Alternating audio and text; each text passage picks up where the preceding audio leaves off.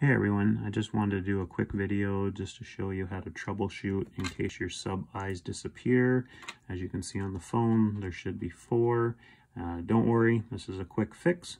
All we're going to do is hold down that crown for a couple seconds. We're going to press it again on the settings button.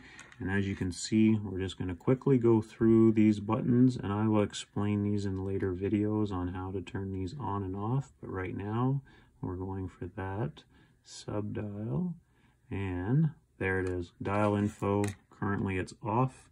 We want to press that button around once. It's going to say on. We're now going to exit back all the way to the end and back to the home button and crown. There you go. You've now got your sub eyes back on just like your phone